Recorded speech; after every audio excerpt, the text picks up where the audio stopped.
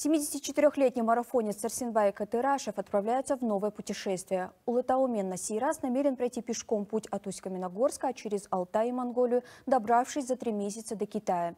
Ему предстоит преодолеть путь длиной в 3000 километров, который станет частью кругосветного марафона. Это путешествие он посвятит пятым всемирным играм кочевников, которые пройдут в Астане. Напомню, Сарсенбай Катырашев стал известен в 2022 году, когда за полгода обошел 17 областей Казахстана. А в прошлом году он совершил пеший поход длиной в 3000 километров от Атырау до Стамбула. Если хочешь быть здоровым, в день минимум 7 километров шагай, ходи.